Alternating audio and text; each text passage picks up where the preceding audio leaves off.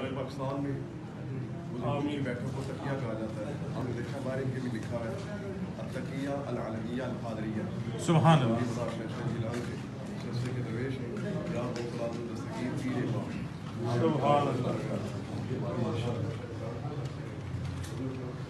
آمین آمین آمین آمین آمین۔ پیش کیا بھی بات موجود آمین۔ آمین۔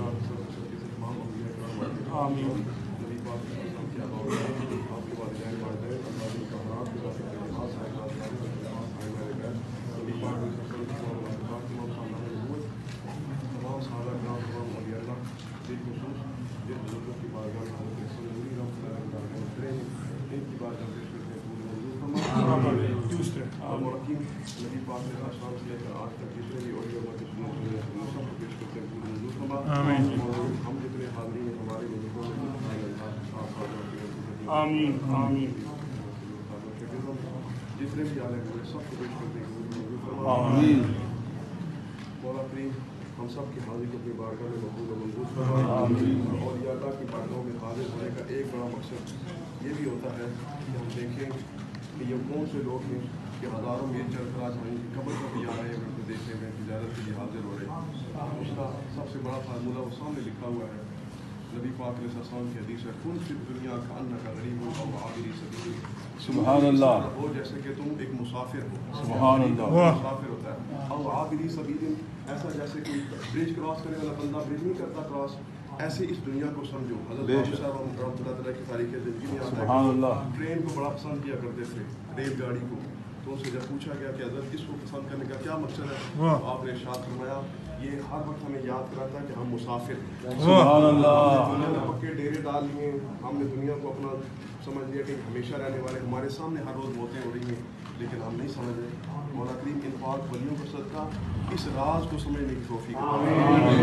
زندگی کا راز ہے کہ جز وقتی سمجھیں مختصر سمجھیں تیری بارگاہ میں سچی پکی توبہ کریں۔ اور اگر ہم توبہ کے ساتھ رہتے ہیں تو یہ دنیا بھی ہماری ہے وہ دنیا بھی ہماری ہے۔ سبحان اللہ۔ پاک زندگی عطا فرما۔ آمین۔ توبہ کی توفیق عطا فرما۔ آمین۔ اللہ نے جس طرح نبی پاک صلی کی تعلیمات پر عمل کیا ہے ہمیں بھی سرکار دو عالم صلی اللہ کی تعلیمات آمین۔ توفیق عطا فرما۔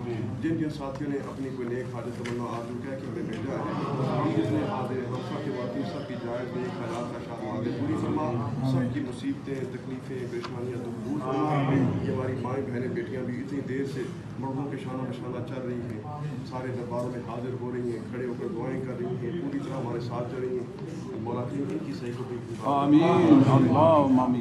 کوئی ایسا نیک بندہ جو سب ہمارے درمیان موجود ہے اور کہ اس پاک بندے کا صدقہ ہماری حاضری کو بھی آمین اس نیک بندے کا صدقہ مولا کی ہم جتنی حاضری ہم دعائیں لے کر حاضر ہوئے ہیں آرزویں لے کر حاضر ہوئے سب کی آرزویں پوری فرما سیدھے تکلیفیں پریشانیاں تو دور فرما سارے نیک لوگ حاضر ہوئے۔